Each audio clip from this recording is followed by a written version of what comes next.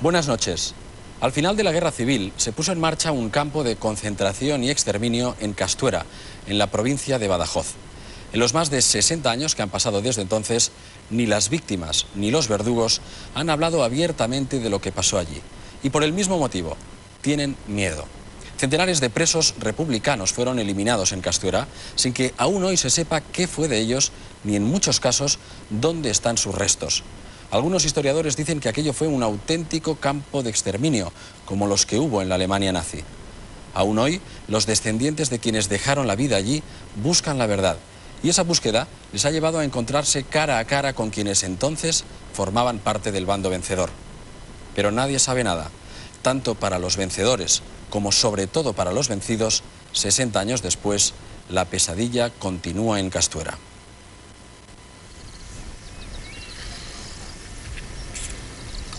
En Castuera sigue habiendo miedo. En este pueblo de la provincia de Badajoz, la guerra civil tuvo episodios especialmente sangrantes.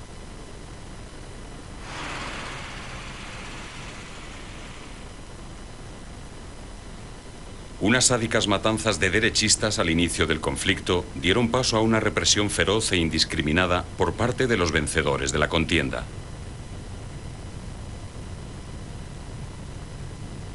En este paraje, cercano a la población, se levantó un campo de concentración para presos republicanos cuyo perímetro aún es identificable desde el aire. Algunos historiadores lo han calificado como el campo de exterminio de Franco. Yo no sé si se le puede adjudicar el título ese de la misma forma que fueron los campos de exterminio nazi. Dachau, Buchenwald, Auschwitz, etc. No, no es la misma cosa. Pero hay que, reconocer y constatar que del campo de concentración de Castuera ha sido muchísima gente asesinada. Que se llame campo de exterminación o que se le denomine de otra forma, el problema es el mismo. Allí se han asesinado a muchos republicanos, sin ser juzgados, sin ser juzgados. Investigar sobre este campo de concentración sigue siendo difícil. Muchas víctimas de la represión siguen teniendo miedo a hablar. ¿Sigue habiendo miedo? Sí, sí, sí, sí. Sobre todo a la hora de, recoger testimonios, pues te das cuenta que, hombres con 89 años, con 90 años, que, ya tienen su vida totalmente resuelta, que han pasado infinidad de, calamidades sin saber por qué, pues a la hora de, explicar simplemente su vida, lo que les ha pasado, pues siempre te preguntan que, dónde van a parar esa información que te están dando, se niegan a dar cualquier tipo de nombre que le haya perjudicado, o que haya, o que haya visto él que ha hecho algo, haya delatado a alguien o haya matado a alguien. El profesor Pablo Ortiz publicó un pequeño estudio sobre el campo de concentración. A alguien no le gustó que removiera el pasado. Y un buen día, pues, mm, alguien anónimo, pues me llamó a mi lugar de trabajo y, me aconsejó que nos dedicáramos a otras cosas. Al principio lo hizo con buenas palabras y al final pues con no tan buenas, ¿no? Eh, vista mi insistencia un poco en identificarlo y en conocer cuál era su, situación. Sí, unas amenazas eh, que yo creo que, que, reflejan bien lo que mucha gente piensa sobre este tipo de cosas, ¿no? Aún. El catedrático Antonio Miguel Bernal viajó a Castuera para recabar datos. La iniciativa no gustó a los dirigentes municipales. Cuando empezamos a hacer las primeras indagaciones y a preguntar, bueno, la, reacción fue de, primero, negación absoluta, ignorancia y finalmente, bueno, una, eh, respuesta muy introspectiva, ¿no? Casi de declararnos personas non gratas, ¿no? Miedo y amnesia atenazan el pasado reciente de Castuera, pero la memoria de algunos es persistente. Albino Garrido se fugó del campo de concentración. Llegó a Francia, donde vive, después de cruzar España a pie durante 72 días. En Castuera, Albino Garrido presagiaba un futuro muy negro.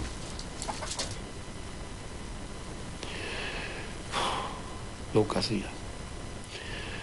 Primero, en el centro del campo había una plaza grandísima, a la cabecera de la plaza la Cruz de los Caídos. donde había que ir a cantar Cara al Sol dos veces. Cara al Sol con la besa nueva, que tú bordaste en el ojo ayer, hallará la muerte si me llega, si no te vuelvo a ver, y papapam, papapam, pam.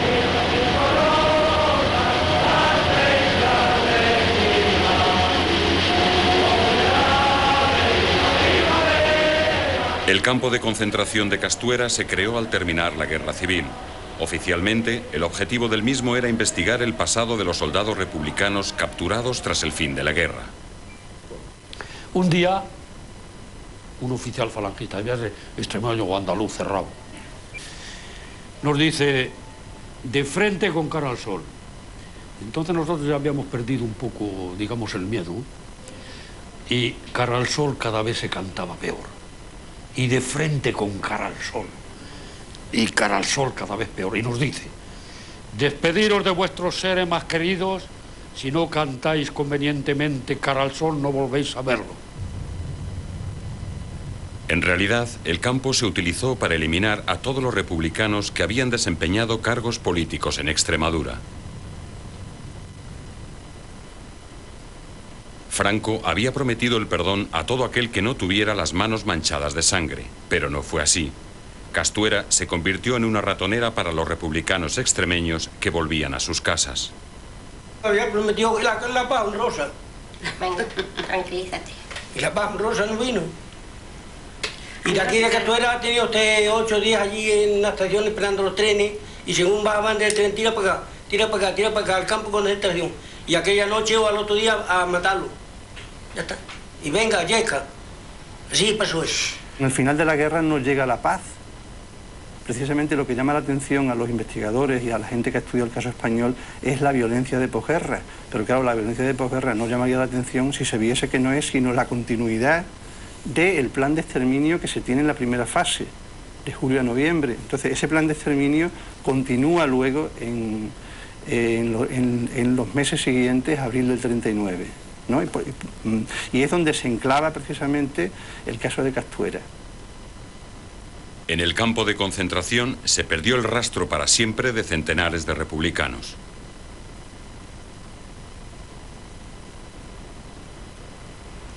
Abundio Durán formó parte de la guarnición militar que vigilaba el campo. Recuerda claramente cómo funcionaba la maquinaria de exterminio a cargo de miembros de Falange. Sacaban lo que le parecía y los montaban en camiones y se los llevaban. ¿Y en realidad qué pasaba con estos? ¿A que se los fusilarían? O allí no volvían. Llegaban con una lista a la barraca, fulano, fulano, fulano, fulano, los falangistas se los llevaban y habían desaparecido. ¿eh? No volvían. Y eso ha durado meses y meses. Se trajeron de mi pueblo, fueron para matarlo, ¿De qué pueblo es usted? de Puebla del Cocel. ¿Y qué pasó con estas personas de Puebla de Alcocer? Esas personas, porque las mataron ¿Dónde? en... Hasta donde estaban las trincheras, allí en un campo. ¿Y han aparecido los cadáveres? No, no hay más, no, nadie ha aparecido nada. La misma historia se repitió con al menos 27 presos de Cabeza del Buey, a 30 kilómetros de Castuera. Un día sacaron 27 de allí y se perdieron y que los llevaban a, a- la cárcel a trasladarlo. Pero no aparecieron más, ni por el pueblo ni por ningún sitio. Nada más que ya sabe dónde iban. Esa casa grande que hay en la acera de enfrente allá abajo, esa casa grande, ahí estaba Falange. Y en el sótano ese cayeron varios y luego los sacaban en un carro y los llevaban hasta a las aguzaderas, allí en el puerto de la venta, en las aguzaderas que había trincheras de la guerra, allí llevaron varios. Hasta los restos hemos visto después. No se conoce familia alguna de Cabeza del Buey que haya intentado recuperar los restos de un familiar asesinado. Las familias de los que hayan querido averiguar a dónde están los suyos, eso han tenido que abandonar y bueno, no sé lo que ha hecho cada uno, pero el miedo es el que lo justifica todo. Detrás de esta loma se encuentra la mina del Quintillo. otra posible fosa común de asesinados por los falangistas de Cabeza del Buey. El propietario de la finca no permitió tomar imágenes de la mina por no estar de acuerdo con la orientación de este reportaje. Por otra parte, familias de desaparecidos de Cabeza del Buey han alegado miedo para no prestar su testimonio a Línea 900. ¿Y sigue habiendo miedo? Claro que lo hay. Claro que lo hay, nadie se atreve a ver para qué va a desenterrar cosas que no le pueden traer nada más que complicaciones.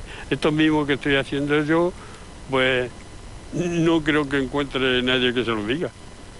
Porque este es un pueblo, un pueblo que depende todo de la de los que tienen los medios económicos para sobrevivir. Este es un pueblo ganadero y un pueblo agrícola. Un pueblo que en su economía pues eh, depende todo de la mano del, de quien tiene la propiedad. El terreno está lo mismo que estaba cuando estaba el campo aquí. O sea, el campo era- estaba aquí. Sí, sí, la entrada que teníamos, una por donde entramos nosotros estaba aquí mismamente. Aquí donde estaba un palo, un poste de madera, y arriba tenía una cruz puesta. Y aquí es donde se subía el cura a dar, a dar los sermones. De tener el palo metido ahí. ¿Eh? Ahí. Sí, sí, sí, sí. En las reuniones que se operaban en la plaza frente a la Cruz de los Caídos, eh, pues, que es increíble, un sacerdote que era representante de la doctrina de Cristo en la tierra, y nos dice, vosotros los republicanos habéis sido vencidos por el mejor general, el mejor estratega, generalísimo Franco. ¿eh? Y piense, piense bien lo que le digo. Y para vosotros pensad que se han terminado los derechos, solo tenéis deberes a cumplir. Buena misa. El cura del sermón que echaba aquí era Dios os perdona el alma, pero no el cuerpo. Así de claro.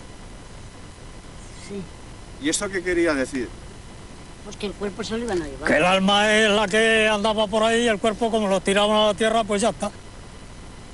Entre los muchos cuerpos que se tragó la tierra tras su paso por el campo de concentración está el de Antonio Murillo, miembro del Partido Comunista y vecino de Castuera. Pues en un correo por la noche volvió a casa y le dijo a mi mamá que, que él venía sin miedo ninguno, puesto que él no había hecho nada malo, que él venía a su pueblo como normalmente es, a su vida y a su oficio y a su cosa. Entonces le dijo mi madre, porque has venido, han matado a mucha gente y te van a matar a ti también. Lo sacaron una mañana, ya lo conté, que lo sacaron a las 8 de la mañana. Lo llevaron por la calle principal con unas mantas, iban así las mantas envueltas, aquí envueltas con una esta, una cantimplora y un plato de aluminio, como si fueran militares. Así iban todos los que iban a matarlos. Pasaron dos camiones enteros del campo de concentración. Y claro, eh, la gente pues, se fue a ver pasar, eh, ay, que están pasando los presos del campo y tal. Pasaron y ya no volvimos a saber más de mi papá. Cinco miembros de la familia Sayavera, también vecinos de Castuera, estuvieron presos en el campo de concentración. Nunca más se supo de ellos. El padre de Carolina y Manuela no podía imaginar su negra suerte cuando escribió esta carta estando preso en el campo de concentración. Ya comprenderéis la pena que tengo en no poder acompañaros en esos tristes momentos, pero confío que al fin resplandecerá la justicia y como nadie honradamente puede acusarnos de ningún delito por no haberlos cometido, de no haberlos cometido, seremos liberados por la justicia de Franco. Eso, eso confiaba él. Él confiaba, él se fueron a Castuera, como Franco decía, que el que no tuviera sus manos manchadas en sangre, que podía presentarse, bueno, pues dices, bueno, pues igual me sale un- una pena de algunos meses o algo, ¿no? Pero no, no fue eso. Años antes, los franquistas asesinaron en Castuera a la esposa de Sayavera, Carolina Aba, madre de nueve hijos. El día 29 de julio del 37 fueron a por ella, por sobre las 12 de la mañana, no se me olvidará nunca. Y estaba mi madre cosiendo, que tal, tal como está en la foto esa. Fueron a por ella, se levantó para irse, yo la fui a abrazar, me dieron un empujo, me tiraron al suelo, caí mareada llorando y desde entonces sigo así. Una herida muy profunda. Yo, es que mis hijos dirán, "Ma, no pienses, no pienses, pero eso no se va. Es, ya tenemos, mi hermano tiene 70 y cuánto? 77, 79 y yo 77. Y es que esto parece que lo vivimos ayer, ¿verdad? ¿Dónde fueron ocultados los cuerpos de los asesinados en Castuera? Los asesinos contaban con un arma perfecta para ocultar sus crímenes, el miedo. Entre los resquicios del miedo brotó una versión escabrosa, la mina. ¿Qué pasaba en la mina? Que la mina estaba, la tenían, estaba cubierta y le tenían una, le tenían una trampilla, le tenían una, una tabla larga y, le tenían una cortina puesta. Y le dicen, pasa ya a la otra habitación. Y pasa a la otra habitación cuando pisaba la trampilla abajo. Y abajo. Y detrás de uno otro. Y otro y otro. Al lado de lo que fue el campo de concentración se levanta el castillete de una mina, la Gamonita, abandonada hace muchos años. Que vayas a saber si eso no está lleno de muertos. Eso mismo. Hombre, ahí no se sabe porque ahí si es que los, los tiraron o los han sacado, pues ahí están los restos. Mire usted, mientras nosotros estuvimos allí, a las minas aquellas no echaron a ninguno. Allí lo que hacían era que se cachaban muchas navajas y muchas tijeras, y eso se echaron a todos aquellos, muchas. Los que eran cacheados. Pero mientras nosotros estuvimos allí, no tiraron a ninguno. El historiador Justo Vila fue el primero que recogió testimonios entre los expresos sobre los asesinatos en una mina de la región, aunque sin localizarla. Contaban es que eran arrojados a, a las minas de plata y de plomo que hay por toda la Serena, además de la Gamonita, que es la mina más importante, la que estaba eh, pegando, digamos, al campo de concentración, pues otra serie de, de agujeros, otra serie de, minas, algunas desde el tiempo de los romanos, eh, eran arrojados a las minas y posteriormente eh, le tiraban una bomba de mano. Los únicos testimonios, lamentablemente, que tenemos son esa historia que, que casi todo el mundo cuenta, con distintos protagonis- protagonistas, pero con un, espacio que siempre se repite, ¿no? que es la mina. Lo que ocurre que el campo está rodeado de muchísimas minas, y entonces señalar a una, pues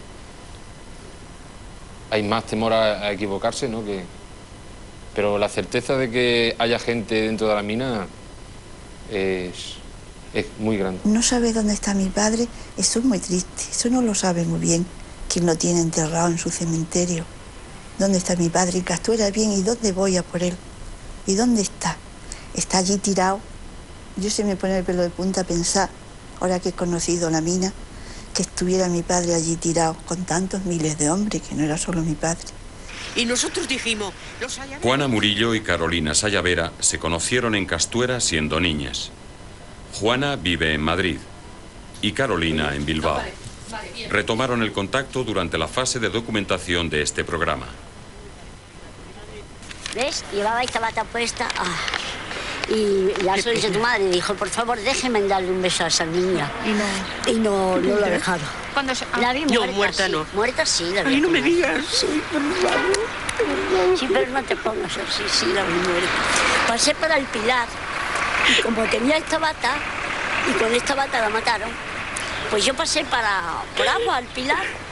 Y entonces en un rincón del cementerio la vi tendida. Y se paró todo el mundo y dijo, eran como las nueve de la mañana, se paró mucha gente y dijo, ay, ay, ay, ay, ha matado a alguien esta noche, dijeron unos señores. Y yo me bajo y digo, ay, ay, pues llamaba Carolina, Pepa. Carolina. Carolina, Carolina. Ay, Dios mío, es la mujer de Sayavera, es la mujer de Sayavera, decía yo. Porque claro, lo había visto con la bata, entiendo. Juana y Carolina tienen una cita con el jefe de la policía municipal por si les puede aportar más datos sobre sus padres. Seis años de mi vida. Mi padre estuvieron en el campo de concentración con dos hermanos míos. Pero usted sabe si su padre ingresó en el campo de concentración procedente del- de la cárcel del partido o fue directamente desde la estación de Renfe Del- o fue, o fue por otra- fue de la estación. Pues entonces- Fueron unos falangistas y lo- los esposaron y se lo Le llevaron. explico, le explico un caso. Los libros que tenemos aquí, los libros actuales que tenemos aquí, eh, fueron recopilados, estaban por ahí escondidos, eh, en un tiempo quisieron desaparecer, puesto que el cambio político que hubo el día 6 de diciembre del 78, pues eh, algunas personas querían desaparecer. ¿Cómo terminó la guerra en esa No, fecha? no, no, está hablando el día que se votó la Constitución. Ah, Eh, sí, sí, sí, El día 6 de diciembre. Sí, sí. Todos estos libros fueron guardados por mí, porque los querían hacer desaparecer, los querían, porque había cosas aquí en los libros apuntados en las cuales pues no era de la- del agrado de algunas personas. José estaba en el campo de concentración, José ¿verdad? Porque mi padre le llamaba si, Pepe. Si no ingresó aquí, no, no, aquí no aparece nunca. Le debo repetir que aquí solamente aparecen los que pasaban por el depósito municipal detenido. ¿Y lo de la mina qué pasa? Yo de la mina eh, he andado mucho, he hecho muchas preguntas, he intentado Y nadie habla de contactar con una parte y con otra, ¿no? Y nadie me ha dicho que allí hayan... Allí... Que haya habido gente allí. Exactamente. Nadie me ha comentado. He escuchado muchísimas versiones, muchísimas. Pues a mí, a Pero madre... nadie, lo mismo que me han dicho a mí, de que había traición, cuando estaban en la centinela, pues los paisanos se traicionaban a otros y dicen, mira, Sí, sí, esta, esta noche estoy yo en tal garita, súbete para arriba y te vas. Me toses y te vas. Y mentira, le pegaba un tiro y lo mataba.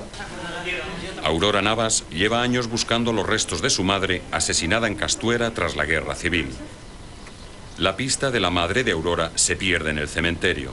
Tal vez aquí fueron a parar muchos de los desaparecidos tras pasar por el campo de concentración. ¿Pero dónde era? Pues era en este lado, en este lado, claro, era en Y por este el lado. medio no había zanjas. Y ni era, no había esto, no, No, no, era no, no, no totalmente estaban los distinto. jardines. Sí. Pero por lo que a mí me han dicho, Allí exactamente. era ahí. Sí, sobre un rincón era, porque yo oí decir, hay una mujer muerta. Zajas había, nadie está segura de que, de que esas zajas eran ocupadas por personas que habían sido ejecutadas, estaban en el campo de concentración. Lo que sabemos es que la gente pasaba por aquí a llevar comida a sus familiares y que aquí había zajas que un día estaban tapadas y otro día estaban abiertas, ¿no? Bueno, eh, la gente dice que en la ayunt- de- del cementerio, en esta zona de por aquí, pero nadie te asegura dónde el lugar exacto. Estamos hablando de hace muchísimos años, hace sesenta y tantos años, ¿no? Hasta el momento, en Castuera nadie que podía saber ha aportado datos sobre el paradero de los asesinados por los vencedores de la guerra civil. No, hay mucho miedo, ya está, hay mucho miedo. Yo incluso he notado personas... Lo que no se concibe que, eh, No. que haya miedo ya. Mira, ¿sabes lo que pasa? Todo el mundo tiene miedo a que vuelva a pasar otra vez, no, y que vuelva a pasar otra vez cualquier cosa y ellos se encuentren involucrados. en Sí, sí, en la vida da muchas vueltas y... En realidad fue un objetivo.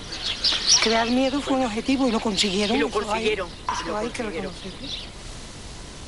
Frente al cementerio se levanta el monumento a los caídos del bando nacional.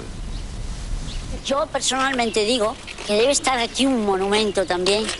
Porque... Si no puede ser un monumento tan grande, pues un monolito más pequeño. Claro. Pero con los nombres, sobre todo de los que hemos venido a saber de ellos.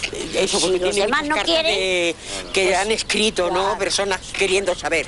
Entonces, los que estamos reclamando Y y, que queriendo saber, Eso es, pues que nos lo pongan, si no al lado, pues que, que- que pongan aquí algo. ¿Qué se ha hecho hasta ahora en Castuera para recordar a los que dieron su vida por defender la República? No hemos hecho nada y de verdad siento un poco como de vergüenza política el no haber, eh, ha- haber hecho propuestas para realmente lograr esa reconciliación, lograr, ese reconocimiento de los que lucharon por un régimen democrático como, fue la Segunda República. Porque yo la guerra la conozco, me acuerdo de todas, no hasta en ella, ¿eh? No me- Carolina Sayavera cree que sus muertos no descansarán en paz hasta que no tengan una sepultura digna. En el hogar del pensionista espera encontrar alguna pista. Luego, en otro momento... Está probado. Espera, que me preguntan.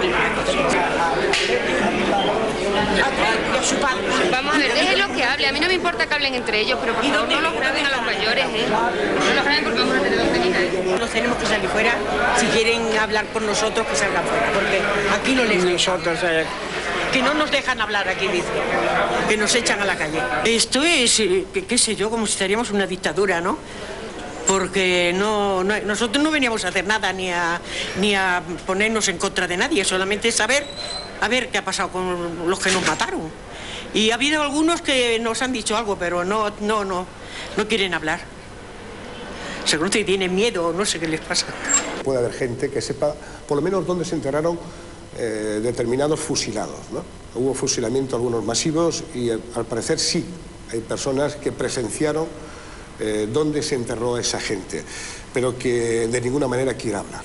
eh, De ninguna manera quiere hablar. Y alguna sí eh, existe todavía, vamos, está con vida. Pero ya digo, yo acercándome, tratando solo de conocer un poco pues, cuál fue la historia de mi pueblo, hablando con esa gente, cuando sacas ese tema rápidamente cambian el, el- el gesto de la cara, se ponen tenso y, y dice hasta aquí hemos llegado, ¿no? ¿Usted eh, siente rencor? Mire, si, si le digo que no, le voy a mentir. Siento rencor, pero un, rencor ya con pausa, ya sosegado, ya diciendo, bueno, ya pasó, y, y los que quedan no tienen culpa. Eso. Pues, ¿qué voy a hacer yo? yo solamente que me ayuden a decir dónde están los restos, que yo los saque, los ponga en un sitio y sepa que están allí. Entonces, pues todo eso está grabado. Eso no hay duda que, que eso no se borra para nunca. Y mi padre para mí, pues, es desaparecido, pero casi como sabemos que lo fusilaron, que fue de una manera, que fue de otra, nos hemos hecho No, la cuenta de, no de lo peor. aprender lo que hicieron con... ¿Tú quieres saber dónde está papá? No quiero saber dónde está y cómo está, cómo lo taparon. Yo creo, creo que sería de justicia eh, que las autoridades españolas, igual que está haciendo de alguna forma eh, la Junta de Extremadura, apoyaran abiertamente a, los hijos y a los nietos de aquellas víctimas para buscarlos y para enterrarlos, eh, para darles digna sepultura. Creo que cuando esto pase, cuando esto suceda, en España existirá, habrá habido eh, una auténtica reconciliación nacional. Mientras tanto, esta reconciliación no existe, no nos engañemos.